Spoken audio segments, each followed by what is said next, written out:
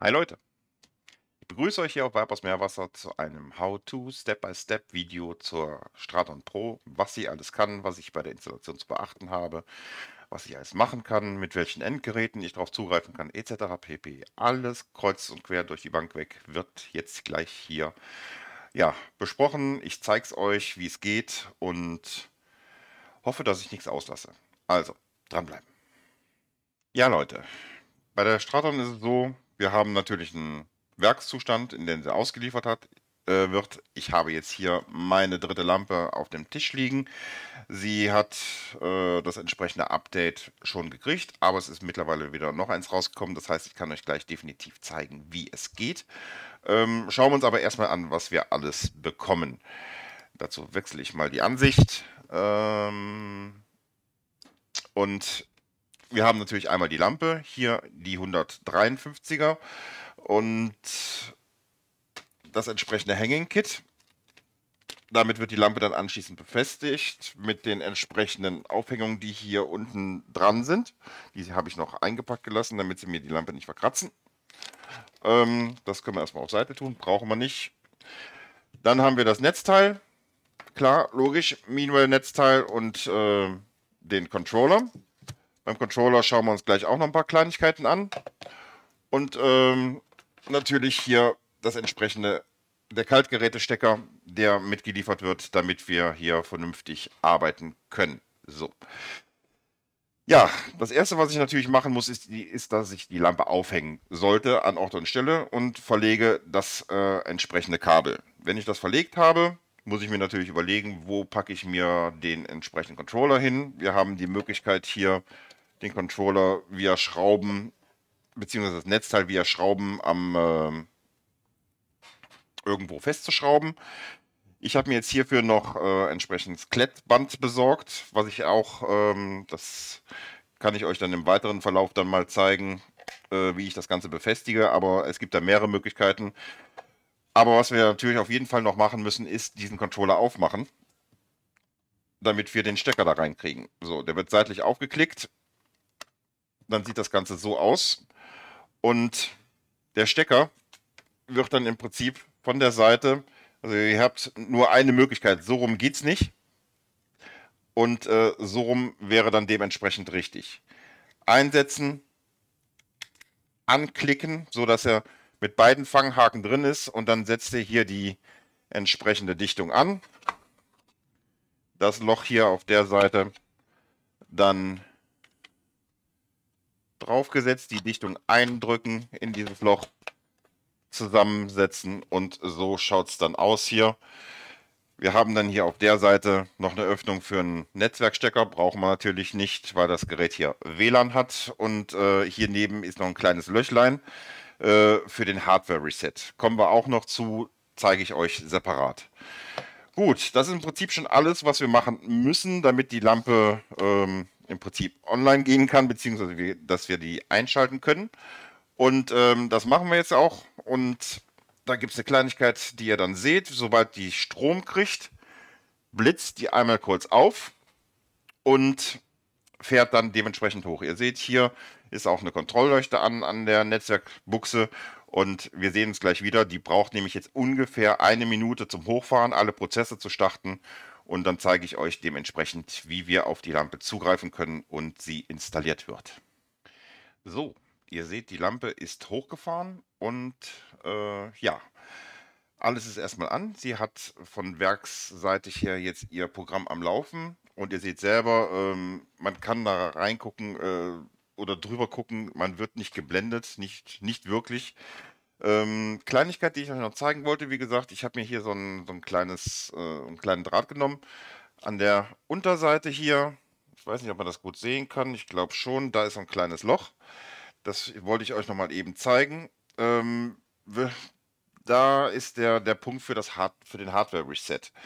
Da muss ich den Taster, der da drin ist, ertasten, draufdrücken und dann seht ihr, dann fängt das Ganze an zu blinken festhalten das Ganze so lange, bis beide Leuchten äh, an genau jetzt das entsprechende, bis beides leuchtet und dann wird die Lampe komplett auf Werkseinstellung zurückgesetzt. Das schon mal vorab. Äh, sollte euch irgendwie ein Missgeschick passieren, äh, ihr die ins falsche Netzwerk kennen und nicht mehr drankommen, könnt ihr darüber dementsprechend hingehen und den Hardware Reset durchführen. Und auf geht's zum nächsten Punkt. So, das nächste, was wir natürlich jetzt machen, ist, wir müssen uns mit der Lampe verbinden. Da haben wir dementsprechend mehrere Möglichkeiten. Einmal die allseits bekannte Web-Oberfläche, die von jedem Endgerät, was dazu fähig ist, äh, bedient werden kann. Also sprich vom Handy, vom Pad, äh, vom Rechner aus. Äh, alle, alle Geräte, die in der Lage sind, einen Webbrowser zu öffnen, haben die äh, Möglichkeit, auf diese Lampe zuzugreifen per WLAN. Wir haben jetzt mittlerweile aber auch entsprechend hier eine App zur Verfügung. Und wie das geht, zeige ich euch jetzt. Ich starte mal eben hier die Aufnahme, weil das hier ist ein Android-Tablet. Und ähm, ja, das kann ich so nicht abgreifen wie bei meinem iOS. Ich blende euch das jetzt mit dementsprechend ein. Und ähm, als allererstes müssen wir uns natürlich unser Netzwerk suchen. Dazu gehen wir in, den Netz, in die Netzwerkeinstellung und die Straton bildet ein eigenes Netzwerk werksseitig erstmal ab, was ähm, aus dem Namen ATI minus Straton besteht, minus der entsprechenden ähm, Nummer, so wie ihr sie hier seht. Ich wähle dieses Netzwerk aus. Das ist ein ungesichertes Netzwerk ohne Passwortzugang. Das kann ich dann im Nachhinein noch ändern. So, verbunden ist das Ganze und wir gehen jetzt hin und öffnen die App. Ja, wir haben keinen Internetzugriff, ist klar. Wäre ja auch noch schöner, wenn Ati auch noch das Internet bezahlt hier. so, dann wechseln wir in die App und die App geht hin und fragt dementsprechend ab. Ihr seht jetzt hier, die ist die Straton abgebildet. Ich klicke einmal drauf und komme jetzt sofort direkt zum Setup-Menü. Ich gehe jetzt hier einen anderen Weg, gleich jetzt über den ähm, über mein iPad, weil das ist ein kleines bisschen einfacher, weil ich hier auf diesem Endgerät hier von, von, äh, von Android nicht den Zugang äh, so habe wie auf meinem ähm, iOS-Geräten. Ab hier ist alles hundertprozentig gleich. Es hat sich nichts geändert. Also die Web-Oberfläche ist die gleiche wie die Oberfläche hier im Pad. Kann ich euch dann gleich zeigen und einblenden. Wir wechseln jetzt rüber aufs Pad. Einen Augenblick. Und ähm, dann zeige ich euch dort äh, an der Web-Oberfläche, wie ihr euch genau bis zu diesem Punkt hierhin verbindet. So, jetzt machen wir das ganze Spiel hier mal am, ich sage es mal, an der normalen Web-Oberfläche. Dafür muss ich auch genauso wie beim, beim Tablet erstmal in das entsprechende Netzwerk hereingehen. So, da wird es auch schon angezeigt an dritter Stelle. Wir wählen es aus und jetzt kann ich hingehen und meine entsprechende Oberfläche anwählen. Das ist die, wie eben schon gesagt,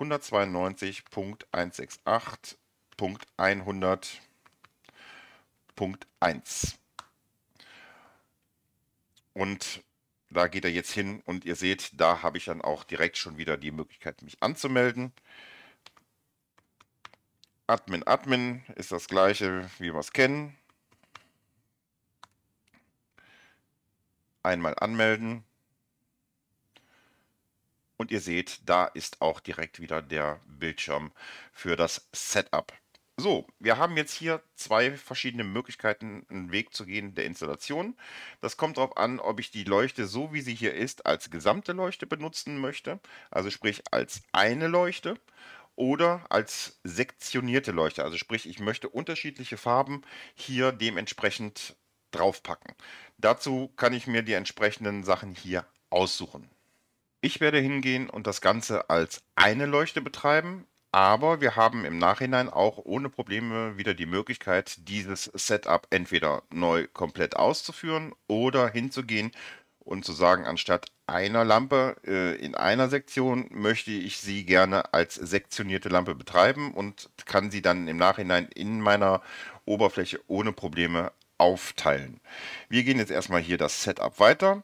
Er fragt mich jetzt hier als erstes nochmal nach dem Passwort. Ich blende mal eben kurz die äh, Bildschirmtastatur ein, weil es gibt eine Kleinigkeit. Ihr seht gerade jetzt hier, ich habe jetzt hier oben reingeklickt und da ist dann dementsprechend ähm, das Großschreiben aktiviert. Das kann bei einem iPad oder bei einem Pad generell schon mal passieren. Also äh, nicht wundern, wenn ihr euch auf einmal nicht verbinden könnt. Nehmt am besten die Bildschirmtastatur, dann könnt ihr das übergehen. So, da schreibe ich da auch wieder Admin rein, so wie sich das gehört. Jetzt habe ich hier die Möglichkeit, dem Kind einen Namen zu geben. Als allererstes hier oben besteht die Möglichkeit zu sagen, ich möchte diese Lampe umbenennen. Ich lasse das, weil so kann ich erstmal die äh, entsprechenden äh, Lampen im Netzwerk besser identifizieren. Ähm, ich kann sie dann anschließend auch in der App im Nachhinein wieder verändern. Dann habe ich die Möglichkeit, in ein normales WLAN einzubinden, das, was ich jetzt gleich machen möchte. Also sprich, jetzt hier hinzugehen und zu sagen, ich binde das in mein Heimnetzwerk ein. Und ich habe die Möglichkeit zu sagen, ich mache das Ganze hier als ähm, Master-Client-Lösung mit komplett eigenem Netzwerk. Also sie ist in der, Lage, in der Lage, ein eigenes Netzwerk herzustellen. Eine Lampe müsst ihr als Master installieren. Dann sagt ihr, okay, gebt dem ganzen Kind hier einen Namen, so wie es äh, hier steht. Meinetwegen lasst ihr die Seriennummer stehen oder sagt ATI Straton Master Netzwerk, gibt dem Ganzen einen entsprechenden Key, damit das Netzwerk gesichert ist und dann könnt ihr damit dementsprechend weitermachen. Wenn ihr dann mit der Master Client Variante arbeitet, müsst ihr dann anschließend alle Lampen natürlich als Client in hier oben über die in ein WLAN einbinden, dann in das entsprechende Netzwerk reinhängen. Ich gehe allerdings hin, hänge das Ganze hier in mein ähm, Heimnetzwerk hat den Vorteil, ich komme besser an die Updates dran. Ich muss sie mir nicht separat herunterladen, sondern es gibt da bei den Updates auch eine Neuerung, kommen wir aber gleich zu. Ich gehe jetzt erstmal hin und suche mir jetzt hier mein Netzwerk aus und ihr seht, hier haben wir eine entsprechende Liste meiner gesamten Netzwerkkomponenten, die ich hier habe. Ist nicht gerade wenig. Ich suche mir eins aus, äh, bekomme angezeigt 37% Empfangsleistung äh, hier im unteren Teil das ist mir etwas wenig, weil ich weiß, ich habe dementsprechend ähm, noch einen besseren Empfang. Genau da haben wir es, Signalstärke 100%, weil wir hier direkt den entsprechenden Access Point daneben haben. Daran könnt ihr sehen, ähm, wie gut euer Empfang im Heimnetzwerk ist. Die Auswahl des entsprechenden Zugangspunktes ist wichtig, weil die Lampen untereinander kommunizieren. Gerade wenn es nachher darum geht, ähm, eine Live-Vorschau zu machen und äh, die Lampen generell äh, einzustellen, ist es immer besser, dass sie direkt äh, den besten Empfang haben. Alternativ dazu könnt ihr natürlich hingehen und sagen, okay, wir machen das Master-Client-System. Das heißt, die Empfänger sitzen dann direkt so oder so nebeneinander, da wo ihr die entsprechenden Geräte installiert habt und dann ist die Kommunikation sehr viel schneller. Nachteil an der ganzen Sache ist, das mit den Updates äh, wird dann ein bisschen lästiger.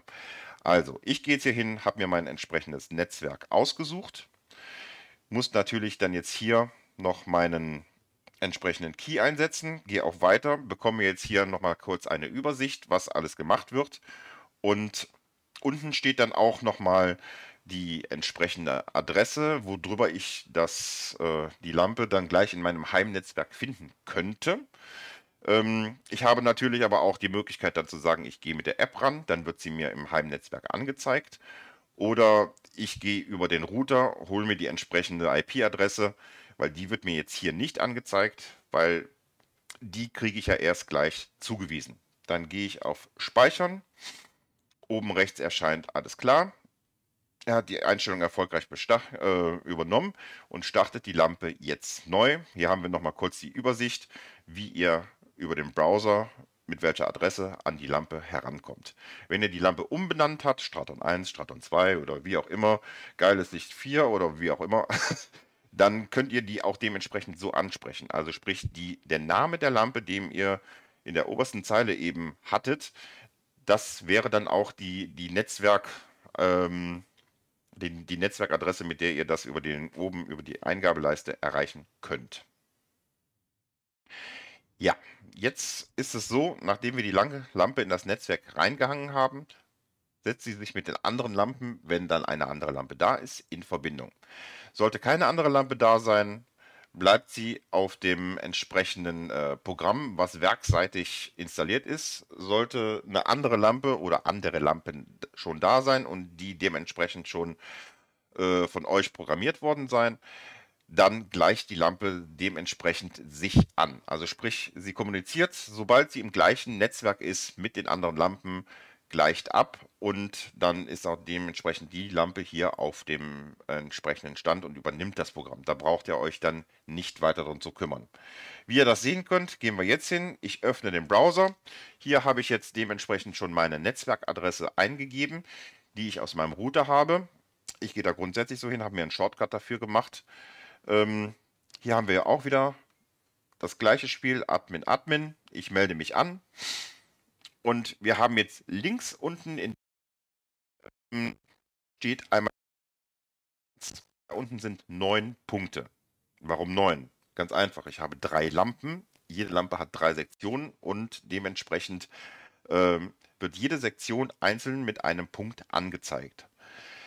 Das ist die Kommunikation untereinander. So, jetzt zeige ich euch mal kurz eben, wie das Ganze mit der App funktioniert wie die App sich dann dementsprechend hier im Netzwerk bei mir anmeldet, beziehungsweise wie, die, wie ich dann auf die entsprechenden Lampen zugreifen kann. Ich habe jetzt hier auch wieder, bin ich in mein normales Netzwerk gewechselt. Ich öffne die App und dann schauen wir mal, was die App hier dementsprechend in meinem Netzwerk findet. Es kann sein, dass das alles ein kleines bisschen dauert und nicht direkt alle Lampen angezeigt werden. Die geben in regelmäßigen Abständen einen Ping von sich. So, und dieser Ping wird dann von der App dementsprechend aufgefangen und dann erscheint die Lampe hier. Seht ihr, ich gehe nochmal kurz hin und aktualisiere. Und genau da haben wir sie. Alle drei Lampen hier dementsprechend ähm, abgebildet mit der IP-Adresse ähm, und dementsprechend könnt ihr auch gleichzeitig sehen, im unteren Teil steht ähm, die Lampe, die jetzt zuletzt dazu hinkommen, hin, hinzugekommen ist. Und ähm, da steht die Firmware-Version dahinter. Also sprich, die beiden Lampen, die jetzt da schon hängen, haben eine neuere Firmware als die Lampe hier.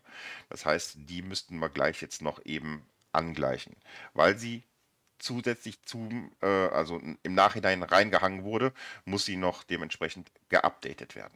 So, wir suchen jetzt dementsprechend eine Lampe aus und gehen dann mal da drauf. So. Er fragt jetzt hier einmalig, wohlgemerkt einmalig nach den Anmeldedaten.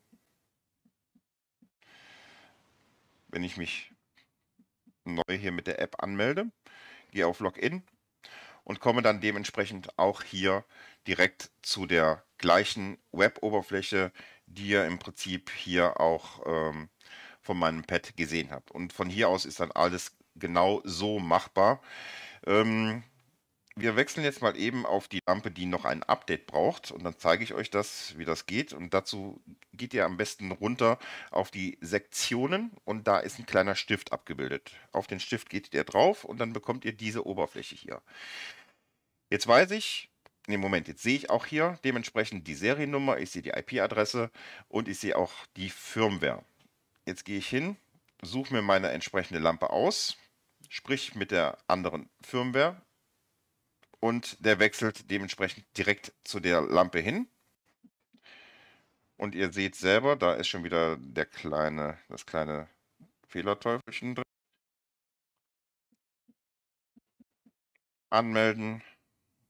Ich komme zu dieser Lampe hin, werde direkt verbunden. Und jetzt gucken wir erstmal, dass die auf den entsprechenden Stand kommt. Dazu gehe ich oben auf Einstellungen und kriege hier schon mal eine ganze Menge an Sachen angezeigt.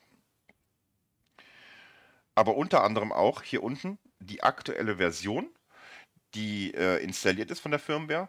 Und er zeigt mir jetzt hier an, online neues Update verfügbar. Das kann ich jetzt dementsprechend jetzt hier so machen. Kann auf Installieren gehen und er zieht sich selbstständig das entsprechende Update herunter, führt es aus. Und was jetzt neu ist, sollten die anderen Lampen dieses Update noch nicht haben, also sprich, sollten die auch auf der Version ähm, 2.6.9 sein, werden alle Lampen gleichzeitig abgedatet. Ja, ich muss nicht mehr auf jede einzelne Lampe drauf gehen, sondern das läuft jetzt ab sofort komplett parallel. Da diese Lampe jetzt im Nachhinein hier reingehangen wurde, ist die beim letzten Update natürlich äh, nicht mit abgedatet worden. Das heißt, das wird nicht angeglichen. Das muss ich nochmal einmal von Hand machen. Also sollte ich jetzt noch weitere Lampen reinhängen, die ein altes, eine alte Version haben, dann dementsprechend hier hingehen und ähm, das Update erstmal alle reinhängen, dann das Update durchführen und das Update wird dann auf alle Lampen übertragen. Ich gehe auf Installieren.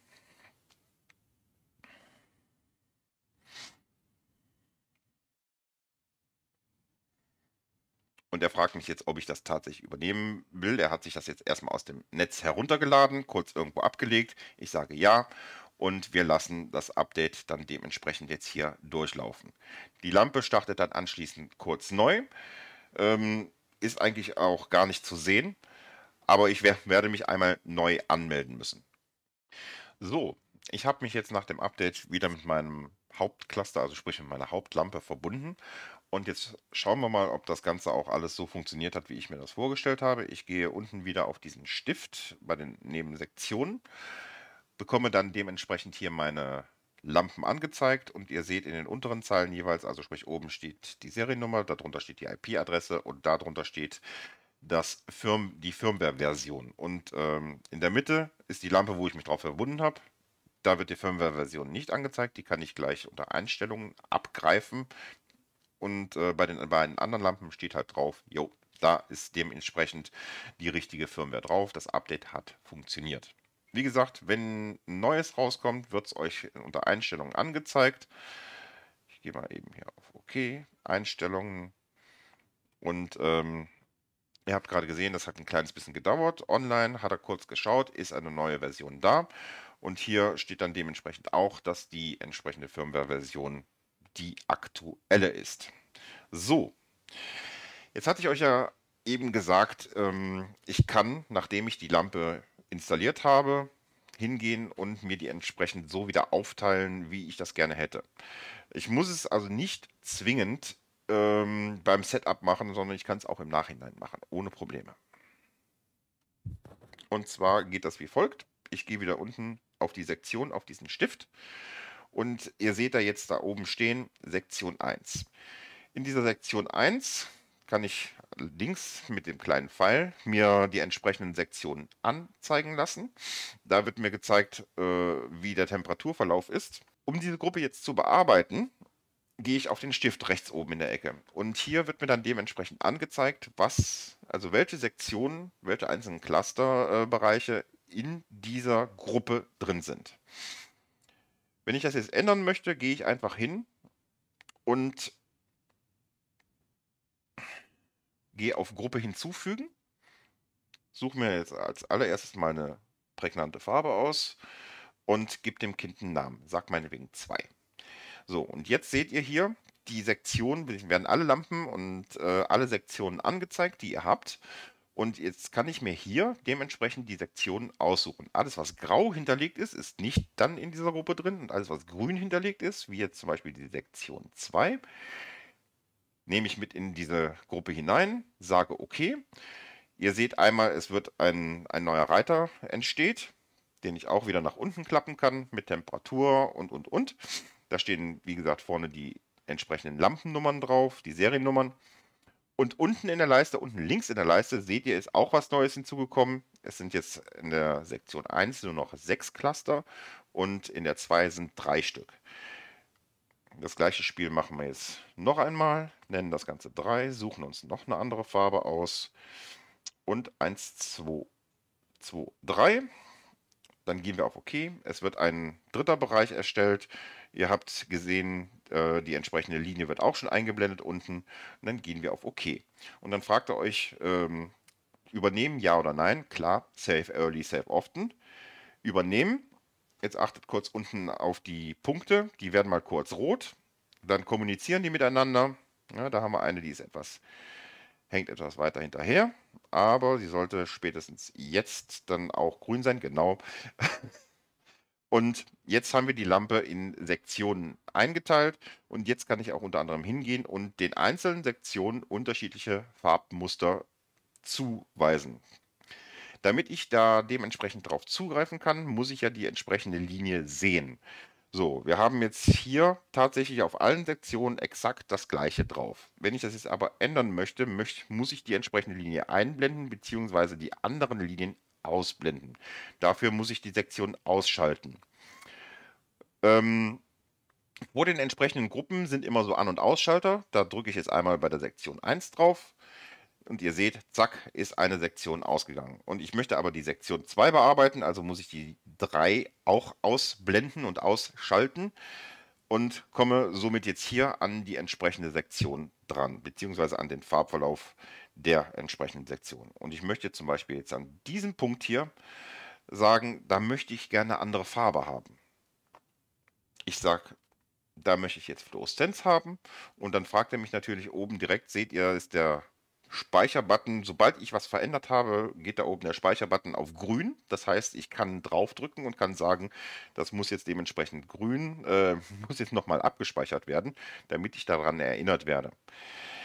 So, wenn ich jetzt hingehe und sage, zack, das ist jetzt genau das, was ich wollte, kann ich die anderen Sektionen wieder aktivieren und sehe jetzt erstmal die Veränderung nicht. Das Einzige, was ich jetzt tatsächlich sehe, ist oben, dass der Button noch äh, irgendwas will von mir.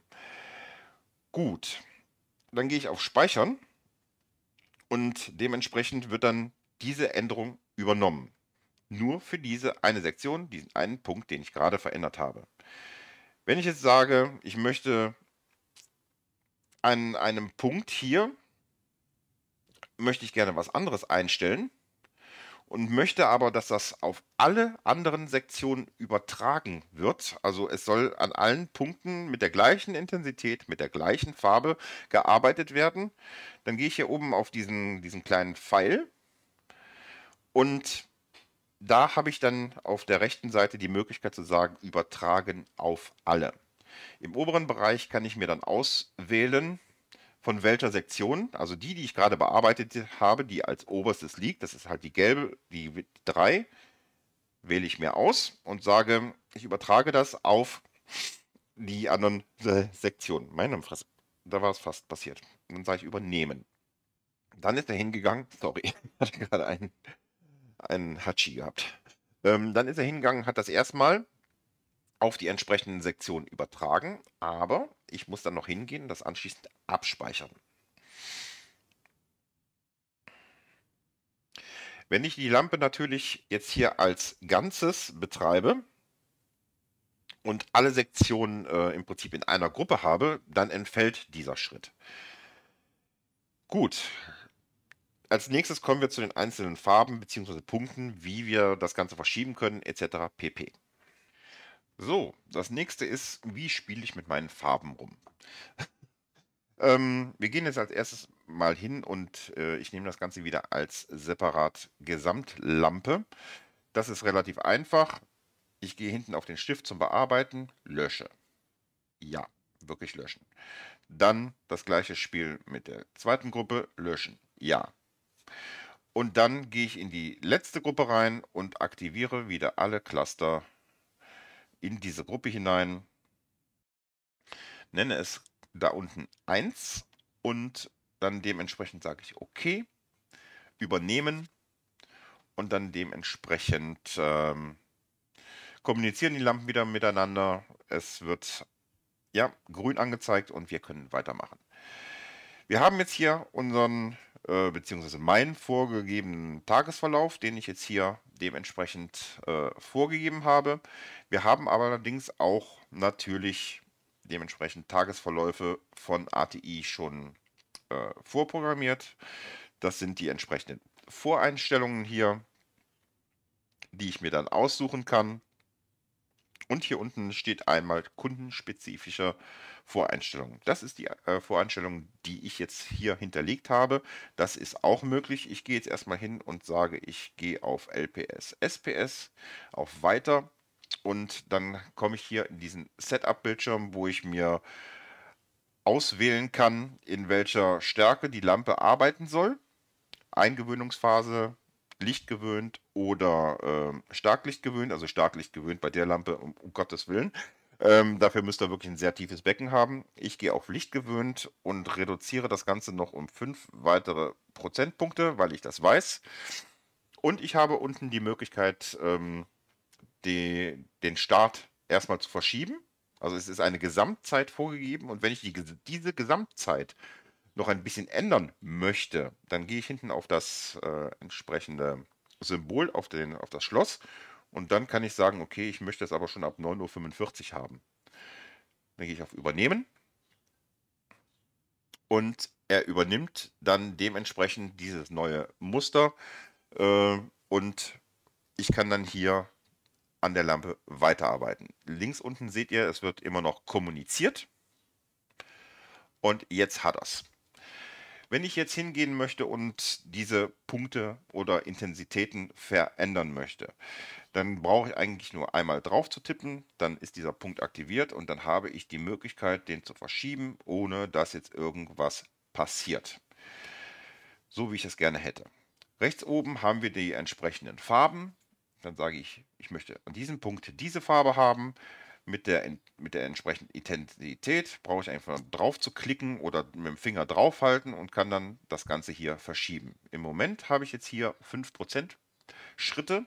Da habe ich allerdings auch noch die Möglichkeit zu sagen, ich kann das Raster kleiner machen. Dazu gehen wir vorne auf das Zahnrad und hier oben steht Raster. So, wir sind jetzt hier in 5% Punkten oder in 15 Minuten. Also die nächst feinere wäre die Version hier. Und dann können wir in 1%, Moment, einmal anklicken, so. Ja, ihr seht, jetzt geht es in 1% Punkten nach oben und unten. Jetzt kann ich auch wieder auf meine 55% gehen und das Ganze dementsprechend so einstellen, wie ich das möchte. Wenn ich jetzt sowas hier habe, dann kann ich dann hier sagen, oben als Voreinstellung speichern und dann erscheint das dann unten dementsprechend auch als kundenspezifische Voreinstellung. Ich habe hier auch die Möglichkeit zu sagen, ähm, dass ich das Ganze abspeichern oder beziehungsweise von der Lampe herunterladen kann. Ich gehe auf Herunterladen, der fragt mich, darf ich? Jo, da, klar darfst du. Will ich ja. Und dann lädt er dementsprechend in den Download-Bereich die entsprechende Datei herunter. Umgekehrt kann ich es natürlich auch machen. Ich kann hier dementsprechend Dateien hochladen von meinen Einstellungen, wähle dementsprechend aus, in Datei auswählen, da ist die entsprechende Datei gehe auf Hochladen. Er lädt die entsprechende Datei hoch und dem, der entsprechende Farbverlauf wurde wiederhergestellt. Wichtig daran ist, wenn ich jetzt ähm, meinetwegen meine Lampe sektioniert habe, mehrere Sektionen, und ich lade eine Datei ähm, mit nur einer Sektion, also sprich, wo alles in, in eine Lampe, in eine Sektion reingepackt ist, wieder hoch. Dann stellt er genau dieses, Entschuldigung, genau dieses äh, Szenario wieder her. Die, Lampen, die Gruppen werden dann also wieder zusammengefasst und das solltet ihr definitiv wissen. Was haben wir noch hier oben in der Leiste? Also einmal das Übertragen auf alle. Okay, wenn ich jetzt alles auf eine Lampe habe, ist das nicht notwendig. Aber ich habe da oben noch ein Pluszeichen, ein Minuszeichen und wieder ein Pluszeichen. Das ist im Endeffekt dafür da, dass wenn ich einen Punkt nicht mehr brauche, zum Beispiel klicke ich auf ihn drauf, gehe auf das Minuszeichen und dieser Punkt verschwindet. Wenn ich jetzt allerdings sage, oh verdammt, äh, ich brauche rechts neben diesem Punkt nochmal einen neuen, dann drücke ich auf, auf de, den entsprechenden Punkt, neben dem ich rechts einen Punkt haben möchte, gehe auf das rechte Plus, zack, wird da dementsprechend wieder ein Punkt hergestellt. Gleiches Spiel wenn ich jetzt auf den neuen Punkt draufsetze, draufklicke und dementsprechend auf den linken Punkt draufklicke, wird links daneben wieder einer hergestellt. Und so weiter. Ja? Also ihr könnt beliebig viele Punkte setzen, so wie ihr das möchtet, so wie ihr da, äh, da lustig seid und eure Einstellung verändern, so wie ihr das möchtet. So, jetzt stelle ich aber erstmal meinen Urzustand wieder her, indem ich sage, ich gehe jetzt hin und nehme meine kundenspezifische Voreinstellung 55 Prozent, 9,45 Uhr. Das ist das, was ich äh, abgespeichert habe. Wir gehen auf Übernehmen. Und ihr seht, hier habe ich dann dementsprechend jetzt wieder meinen alten Zustand. Der hat es auch direkt abgespeichert und äh, von daher können wir dann jetzt hier weitermachen mit dem nächsten Punkt Farben erstellen. So, zu den Farben gehört natürlich auch, hatte ich eben ähm, noch nicht gesagt, natürlich die Lichtstärke und auch eine Neuerung, die wir jetzt hier haben. Und zwar ist das hier oben in dem Bereich, seht ihr, Ähm, genau. Oben die Wattage, die angezeigt wird und gleichzeitig die entsprechenden Paarwerte. Diese Paarwerte sind Anhaltspunkte, die plus minus 5% äh, ungefähr passen, wenn die Lampe dann dementsprechend auf der richtigen Höhe ist. Ähm, die richtige Höhe für die Lampe sind zwischen 25 und 30 cm über Wasser. Da oben ist eine Strommessung. Anhand dieser Strommessung werden die Paarwerte durch eine entsprechende hinterlegte, hinterlegten Logarithmus äh, dementsprechend errechnet. Das ist schon mal das eine. So, wenn ich jetzt eine neue Farbe erstellen möchte, gehe ich einfach rechts auf die Farben. In dem oberen Bereich und da ist ein kleines Plus abgebildet. So, dann kann ich mir eine angezeigte Farbe aussuchen. Ja, nehmen wir es mal grellrot. So, klicke links daneben, gebe dem Kind einen Namen, Testfarbe, sag OK und dann hat er dementsprechend da unten schon mal einen Reiter mit der entsprechenden Farbe, die ich mir ausgesucht habe und mit dem Namen erstellt. Was da jetzt noch nicht ist, sind die entsprechenden Farben an sich. Jetzt war es, äh, war es so, dass wenn ich die entsprechenden Farben mir eingestellt habe, konnte ich in den Live-Modus gehen. Das kann ich hier auch. Aber jetzt müssen wir kurz einen kleinen Schritt zurückgehen. Der Live-Modus hier ist etwas geändert. Und zwar wie folgt. Bei der alten Variante, bei der alten Straton war es so, dass wenn ich in den Live-Modus gegangen bin, dass die Lampe auf Volllast gegangen ist. Und dann konnte ich unter Volllast die entsprechenden Farben sehen. Das haben wir hier geändert oder das ist hier geändert worden, aus dem ganz einfachen Grund, weil diese Lampe so viel Power und so viel Saft hat, da würden unsere Korallen einen Lichtschock bekommen. Das wollen wir verhindern. Wie mache ich das? Ganz einfach. Ich klicke erstmal einen, ich sage mal, Punkt hier vorne an. Der jetzt hier mit 44% angegeben ist. Dieser Punkt ist erstmal jetzt der ausschlaggebende Punkt. Das ist die maximale Intensität, die ihr jetzt gleich im Live-Modus dann dementsprechend dort anzeigt. Dann gehe ich unten auf diesen Live-Modus. Die Lampe springt dahin und ihr seht, es hat sich jetzt gerade geändert. Und das ist jetzt die maximale Intensität, die die Lampe hier in diesem Modus tatsächlich hat. Also kein Stress für unsere Korallen. Jetzt springe ich rüber zu meinem Test und zack, die Lampe ist aus. Warum? Ja, aus dem ganz einfachen Grund, ich habe noch keine Farben eingestellt. Ich kann jetzt hingehen und ziehe mir jetzt hier meinetwegen das Weiß hoch. Dann ziehe ich mir das Blau ein bisschen rein, das Violett oder das Rot.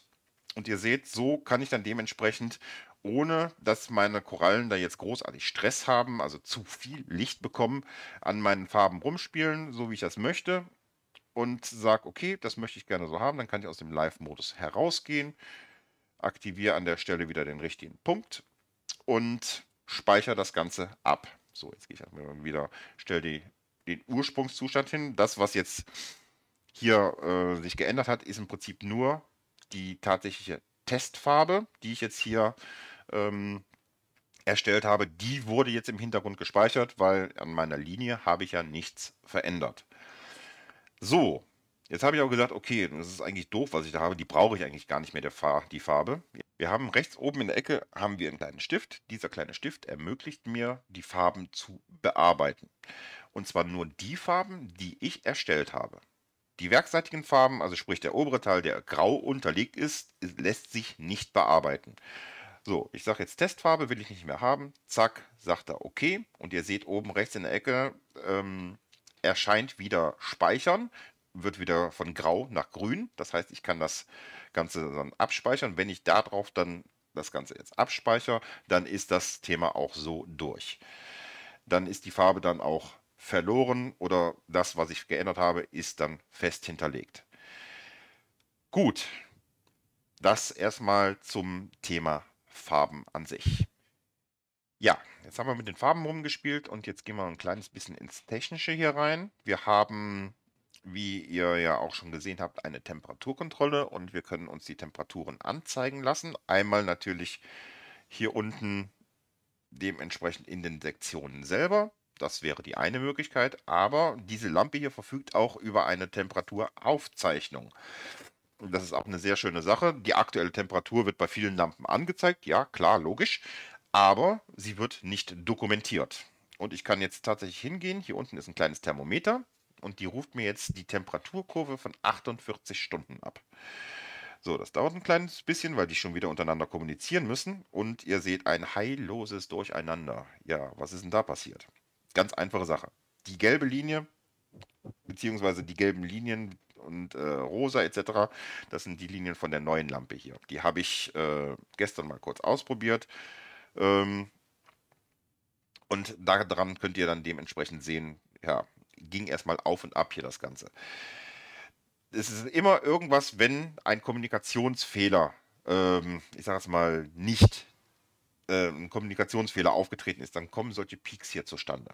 Ich bin jetzt in der Lage, alle einzeln hier auszublenden und mir einzelne Kurven anzuschauen. Ja, also ich kann alle einzeln sagen, okay, das ist die Kurve, okay, sieht die graue ähnlich aus? Ja, die sieht genauso aus. Und so kann ich den Temperaturverlauf von dieser Lampe hier dementsprechend ohne Probleme sehen. Wie gesagt, diese Peaks, das sind Kommunikationsschwierigkeiten. Ähm, wie gesagt, ich habe hier ein relativ dickes Netzwerk ähm, mit so vielen WLAN-Sachen. Da kann sowas schon mal zustande kommen, dass ein, dass ein Temperaturpaket äh, dann hops geht. Aber hier könnt ihr dementsprechend dann sehen, wie eure Lampe in Temperaturverlauf war. Und was ihr hier auch ja, gerade gesehen habt, also 32 Grad wird auch unten links in der Ecke angezeigt, ähm, ist schon eine Hausnummer dafür, dass die jetzt hier, ja okay, die läuft jetzt auf 60 Prozent. Ähm, aber mehr braucht man ja auch nicht, weil diese Lampe hier läuft jetzt auf ähm, nicht 60, 55 Prozent und bringt mir jetzt die Lichtleistung, die meine Hybrid im Endeffekt auf 100 Prozent Leistung gebracht hat. Also heftig. Und oben links in der Ecke seht ihr, da stehen jetzt im Moment 100 Watt oder 101 Watt. Also alle drei Lampen würden jetzt zusammen 300 Watt Licht reinbringen. Ähm, wenn ich die jetzt alle nebeneinander hätte. Brauche ich aber jetzt bei meinem neuen, ähm, ja, bei meinem neuen Becken nicht. Aus dem ganz einfachen Grund, äh, da kann ich wahrscheinlich mit der Leistung wieder runtergehen. Also Momentan auf dem Becken da drüben sind es eine Ersparnis von 350 Watt, die im Vergleich zur Hybrid dementsprechend hier arbeiten. Ja, das nächste gehen wir an die Einstellungen rein und äh, die anderen Kleinigkeiten nachher noch. So, last but not least gehen wir mal in die Einstellungen der Lampe herein und schauen uns an, was wir hier haben. Wir haben hier oben als allererstes in der Zeile die äh, Zeit ich habe die Möglichkeit, hier mir meine Zeitzone und ähnliches auszusuchen. Ähm, dann haben wir die aktuelle Betriebszeit der Lampe. Also vor drei Tagen haben wir den letzten Reset gemacht, weil ich nämlich einige Sachen ausprobiert habe. Dann steht darunter Info, in welchem Operationsmodus arbeitet diese Lampe. Und hier steht Modus Master. Ähm, das hat damit zu tun, dass die in diesem Netzwerk die Lampe ist, die man, äh, die als Master mit den anderen Lampen kommuniziert. Wenn ich jetzt auf die anderen Lampen gleich mal wechsle, dann seht ihr, dass dort dann äh, Modus Slave steht. Das heißt nicht, dass sie jetzt tatsächlich ihr eigenes Netzwerk hat und dann äh, dementsprechend, das ist ja auch Master-Slave-Variante. Es sagt euch nur, dass diese Lampe hier diejenige ist, die als erstes die Infos äh, bekommen sollte und dann an die anderen Lampen weitergeht. Dann haben wir die Möglichkeit, eine Support-Info runterzuladen. Sollte irgendwas sein, und ähm, das nächste hier drunter ist Hilfedialog anzeigen. Da habe ich die Möglichkeit, wenn ich im Vorfeld die Hilfedialoge, die ihr jetzt noch nicht bei mir gesehen habt, die habe ich nämlich deaktiviert gehabt, ähm, kann ich mir wieder anzeigen lassen und da kriege ich dann dementsprechend auch äh, eine kleine Online-Hilfe.